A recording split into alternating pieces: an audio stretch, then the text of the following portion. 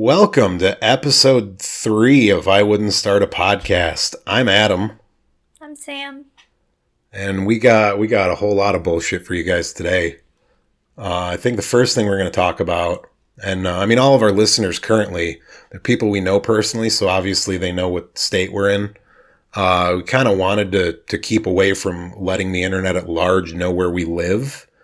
But uh, I think narrowing it down to a state is probably not that dangerous. And uh, I mean, Michigan has castle doctrine, so someone shows up in my house, they're going to have a problem, not necessarily me. But uh, something our brilliant state government has decided um, on behalf of the schools or a bunch of school boards, some some politician somewhere who who doesn't actually do anything for a living has decided the schools are not going to be doing uh, Halloween or Valentine's Day because, uh, you know, in the interest of being more inclusive, because you know how how exclusive Halloween and Valentine's Day are. Uh, I remember when I was when I was back in school, we had the uh, the the czar, the holiday czar, come in, and if he saw if he saw anyone not in the preferred group celebrating the holiday, he had this uh, hickory cane we called him Old Hickory, like Andrew Jackson. And oh, he would take those kids out back and just just whoop on them. He'd just beat the hell out of these kids for up to half an hour at a time, depending on how tough the kid was. You know, to break their spirit and let them know, hey, Halloween and Valentine's Day, those aren't for you, you little shit. Like those are for the other kids. So I'm obviously that's a 100% real story that definitely happened. Uh, which makes me confused about what exactly these schools have are talking about. Like we we don't we want to be inclusive, so we're getting rid of holidays that are open to everyone. Like I could see them making an absurd argument that like, oh, we're not going to celebrate Christmas because that's not inclusive to children whose families don't celebrate Christmas. Like that's that would be exclude, you know, it would it would exclude the Jewish kids because obviously what most people do if they see a Jewish person celebrating uh, uh, Christmas is they attack them violently. Oh no no no no! You have to celebrate Hanukkah. You can't. You can't celebrate our holiday. This is, this is ours. This is our uh, consumer hell holiday about Jesus. But they're doing it, they said, because of like probably poorer kids that don't have the money for costumes and like Valentine's gifts or cards to pass out to their class. Yeah, even which is also kind of stupid because most teachers that teach younger kids like that usually will spend their own money to like buy Valentine's Day things for the class or come up with activities or you know like make little hats for them and stuff so they or buy costumes Well, yeah, on clearance for them weren't they weren't they normally just making hats that like a dun a big dunce cap that says my family's poor? Isn't that isn't that what the state's trying to protect these children from? Is these psychopath teachers that are like, no, this holiday not for you. Your family's poor. Your your dad day drinks. You can't you can't do Halloween. I don't know who can't afford to buy their children Valentine's Day cards. Yeah, I mean, how how much They're are like, ten bucks for a pack of fifty? Yeah, maybe like 10 bucks. I mean, go without your Starbucks coffee for the day or, you know, I mean, your pack even of smokes or whatever your vice is, I guess. Like, don't do your nails maybe for the week. Like, Uh, well, I, I I'm sure some people are going to listen to that and be like, "You're poor shaming these these these people aren't spending money on luxuries like that." Skip a meal, skip a meal. Back back in the day, there were dudes who would you know work a 14 hour shift in a goddamn coal mine, getting black lung, so that their family had a house to live in and food to eat. And uh, we've gotten to a point now where we're canceling a holiday because some hypothetical family somewhere can't afford ten dollars for a pack of Valentine's Day cards. Like, I, I really, I don't think, I don't think this is something parents pushed for. I think this is just some, uh, some people on a committee somewhere who think they're representing the poor. yeah, there, yeah, because there's no way, there is absolutely no way, even if there are some parents that couldn't afford it, if they asked the class or ex parents to bring in stuff for the class for them all to be included So maybe if kids didn't have it, like people would do that because they do it all the time. I don't know. That When sounds like my- a lot of commie gobbledygook. When my child was in elementary school, I would all the time they would ask you to donate like extra paper or pencils or folders like during the beginning of the year, school year for children who might not be able to afford school supplies. You know, around like holidays when they would do uh you know, parties for the kids. They would ask all the kids to bring in, like, and they would tell you how many things, you know, like how much to bring in so that every kid could have something. And no one minded because they're kids. They're, they're kids. They deserve to take part in the day or the celebration and stuff. And taking that away from them just means that they can't do it at their house if they really didn't have the money to celebrate. So now you're taking away the celebration from the kid completely because they don't get to celebrate it at all because maybe they don't celebrate that at their house. Yeah, I mean, I would imagine for a lot of these, a lot of these kids that they're these people are claiming that they're doing this to protect. Like, more than likely, uh, whatever kind of celebration was going on at school was probably the highlight of their day. Because they're they're just going to go home to whatever dirt hovel they live in. I guess like just trying to imagine what kind of living situation people who don't have a spare ten dollars are in. I assume their floors are made of dirt. Their uh, their furnace requires them to shovel coal in constantly. Uh, basically, like uh, they're living in Vic- like Victorian era England, like little Oliver Twist running around, wearing wearing his older brother's hand me downs that are three sizes too big. Because uh, I mean, the way I see people spend money, I I really don't think we have uh, such a poverty problem in this country that these families can't afford a pack of Valentine's Day cards or you know and uh, like okay we'll we'll go with Halloween. Oh they can't afford to buy a costume. You don't have to buy a you can make things. Like I don't this might be something most people in this country have forgotten but you could you can actually make things like you could you could take stuff you already have that you're not using and make something from it. But the, the issue there is that requires like effort. Like you have to you have to do something that's not uh you know sitting around talking on your cell phone using the speakerphone. Because that that seems to be a poor people thing is uh if you're talking on your cell phone you have to have it on speakerphone so everyone around you can be subjected to your conversation like you can't hold the phone up to your ear you can't buy yourself a $10 pair of earbuds with a microphone on it like i mean okay, maybe maybe this the the earpiece on their phone is broken, so they have to use the speakerphone to to use the the other speakers on their phone to hear the phone call. You can get a pair of earbuds with a microphone on them for like six ninety nine at most like department stores. Like I know Meijer has them.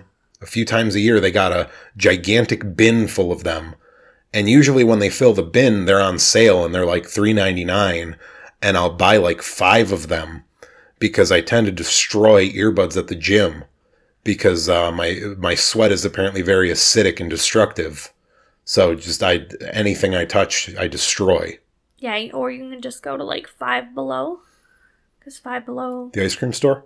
has uh, pretty much almost any everything and anything there. Sometimes, like, Yeah, but can you buy a Bentley there? no, you cannot buy a car there. Obviously, we need to ban the company of Bentley from the entire state because they're they're excluding poor children. We gotta we gotta get rid of them. Uh, you know, those those kids might look out the window one day and see a Bentley and feel bad. Unlike back in the day, where like as a kid you'd look out the window see a really nice car and be like, "Oh, I, I'm gonna work hard when I'm older so I can afford that. That's a nice car. I'd like to have that one day." So they aspire to something. You don't you don't you don't want kids aspiring to things because uh, I, I think this is the mindset of a lot of people that, that are running things. You don't want your population to aspire for things because then they might take your job and then you won't get to collect your six figure, you know, seven figure salary for uh, sitting in your office having Zoom calls all day. Really, really important Zoom calls. Very important. Uh, I don't know. I don't know if anyone knows this, but literally nothing important has ever been done over Zoom. Like anything that's ever happened over Zoom is just a net negative.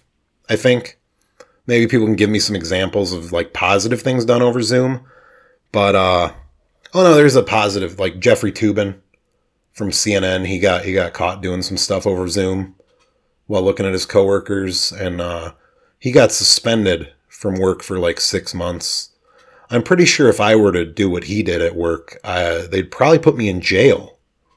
They'd, they'd probably put me in jail and I'd probably end up on some kind of registry that I had to tell my neighbors about. But uh, Jeffrey Toobin, he did this over Zoom. And um, then a bunch of journalists came out and they were like, it's perfectly normal. Everyone does this. And it's like, this must be very lenient workplaces where, where you can get away with things like that. Um, because I got to tell you, most working class jobs, if you were to do something like that, uh, you're you're definitely going to talk to some police. You're definitely going to be put on a list. And depending on what kind of working class job it is, like if you work construction, your coworkers are probably going to beat the shit out of you. Like they're they're to be like, uh, "Why were you doing that in your truck outside of this customer's house? Like you are you are a sick pervert, and uh, we're we're to hit you." We're to hit you a lot right now. And you no longer have a job because none of us feel comfortable around you anymore. You clearly have some impulse control issues. You couldn't wait till you got home. You're sitting in the back seat of my truck, um, pleasuring yourself. And uh, so you're also walking home today because uh, I'm not letting you back in my truck after you did that. Jeffrey Toobin, however, he gets to come out and be like, "Well, I thought I turned I thought I turned my camera off." Like, what, Jeffrey? Okay, what? so we have to get Adam off of this rant of Jeffrey Toobin. I've had a right lot now. of caffeine today. I I don't like these people. I mean, I'm not. So I'm it, definitely not pro communism, but uh, some of some of these these little commies ideas about how like oh we gotta we gotta punish the rich. I think they're just going after the wrong group of rich. I think there are plenty of rich people that like just lock them in the trunk of a car and forget about it.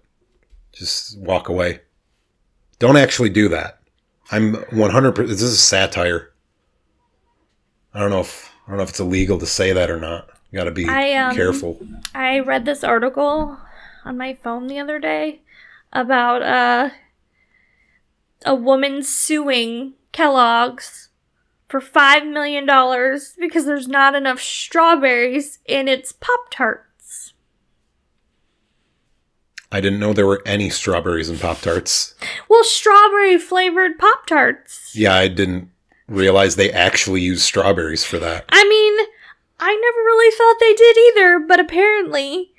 Um, how did she determine how many strawberries were in a Pop Tart? Because obviously, you you break one of those open, you're not finding actual. Pe- It's like I guess the slime and jelly the inside. pastry um, contains two percent or less of dried strawberries, dried pears, dried apples, and red 40. Oh, and it says that on the red nutrition label. But she's saying that the consumers are being misled by Pop Tarts because there's not like, I think there's something that's not on the nutrition label specific to basically say like artificially flavored. I mean, I, I, I don't remember it a hundred percent, and I only screenshotted like an old person a few of the things. Um, I mean that's. But I thought it's it not was... that old. I take pictures of my computer screen with my phone sometimes when I don't want to open the snipping tool. So, you know, it's uh, it's more convenient. I mean, my take on the whole thing, like, I am one hundred percent in support of suing Kellogg's for five million dollars. I like that part. I am very confused by the idea that someone would look at a Pop Tart and go, that's made of fresh fruit. That is clearly, that clearly has real fruit in it. Like, I mean, yeah. No part of a Pop Tart tastes anything like real food. Yeah, but it's weird. It's kind of funny to me, but it brings me back to things like how someone sued McDonald's because they spilled hot coffee. No, no, no, no, no. Lap. That that that whole thing what what you're what you're framing that as that's McDonald's spent millions of dollars on a PR campaign. In reality, what that was, th- first of all, they had the coffee way hotter than it should have been. Like way, way, way hot. Like no, no, no. You're you're making a face right now, but way hotter than a home coffee maker even makes coffee. Like so hot you you can't actually serve it to someone, especially someone who's going to be in a moving vehicle because it's an enormous burn hazard. Like the the coffee at a fast food place, it's got to be brewed or however they make it, conjured up by a wizard, like ladled out of the sewer, however they do it. But it's got to be brought down to a cool enough temperature that you can drink it when they hand it to you. The coffee they handed this woman was way too hot.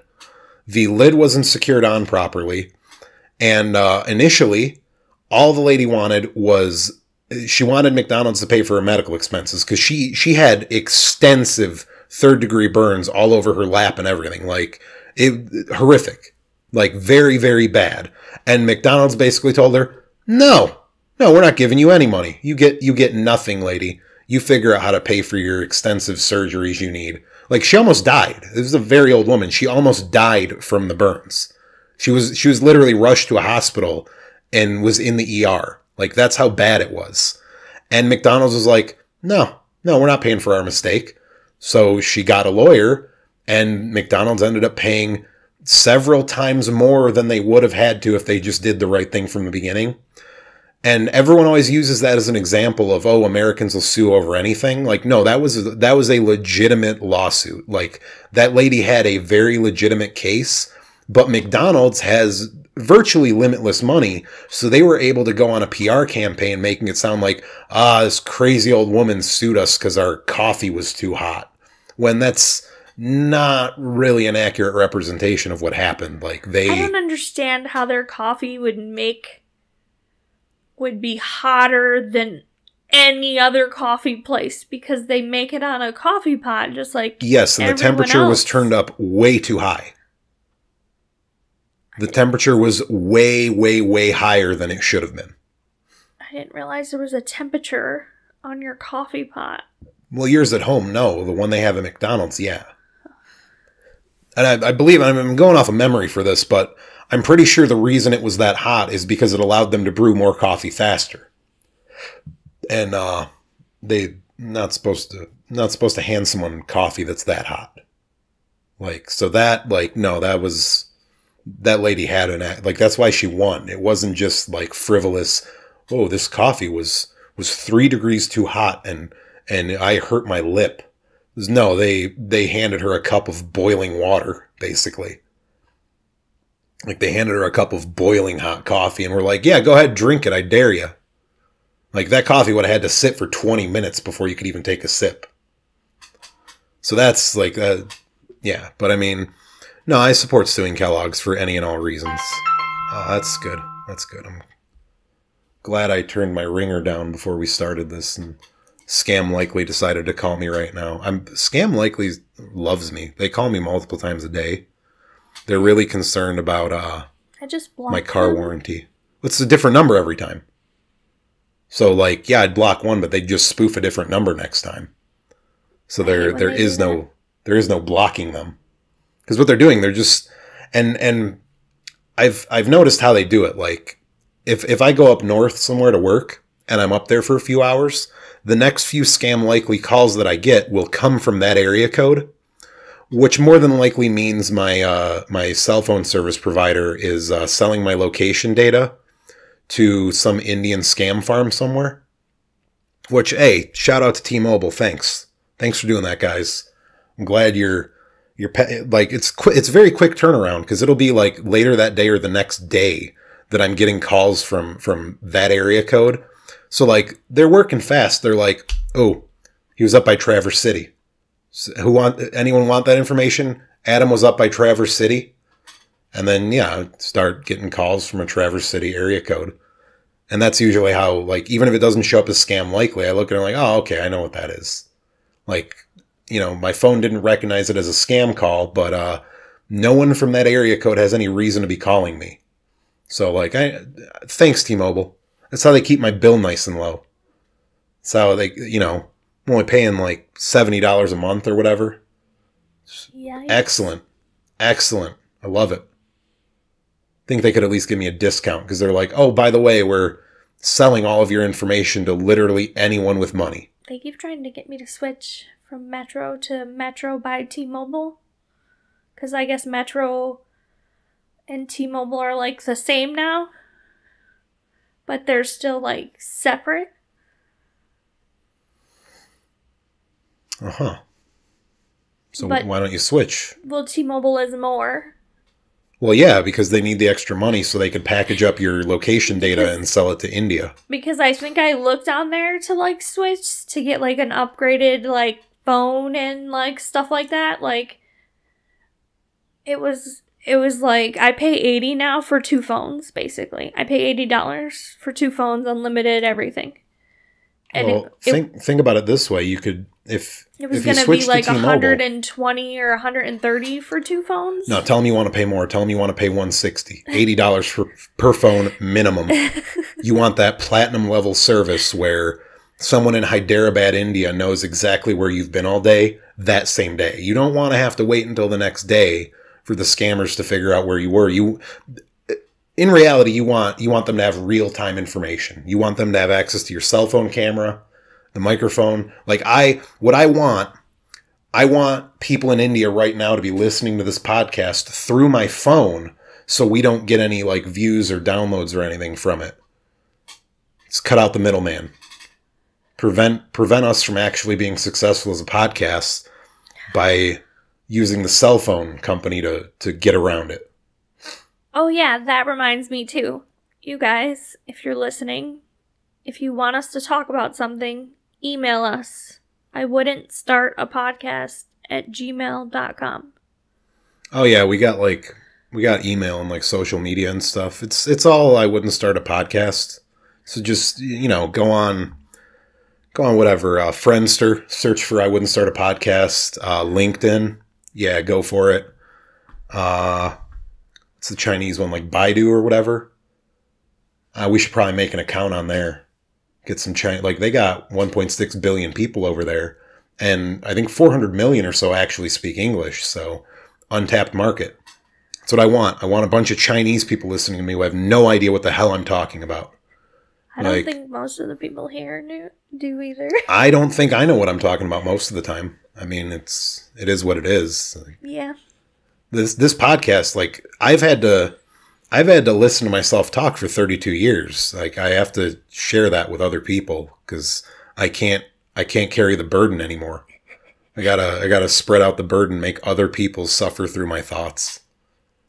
I can't be trapped in here with them by myself. I'm not qualified for that. It's a scary thing. It's scary. Yeah. Oh, imagine like at some point we're gonna get like hundred listeners on a on one of our episodes, and I'm just gonna be sitting there going, "Oh, there's gonna be a knock on my door." Like someone from like the Dr. Fauci is gonna come knock on my door and be like, "You're inflicting." I can't do it. Oh, I thought I could do an impression of him. I can't. He's gonna come and tell me like, "You're inflicting your ideas on other people. Uh, we have to lock you in a cage forever, so you never do that again." But then you could just take that picture you have of him and kiss it. That's true. I do. Tell him how much you love him. I got some pictures of Doctor. It's, it's going to be good once we do this with video. I'm thinking with how long my computer upstairs takes to uh, render the YouTube videos of these episodes. Uh, probably going to have to be building a new computer before we do any kind of actual video regularly. Because, uh, I mean, a 25 minute long podcast episode that's like all audio with just a background image took my computer like nearly two hours to encode.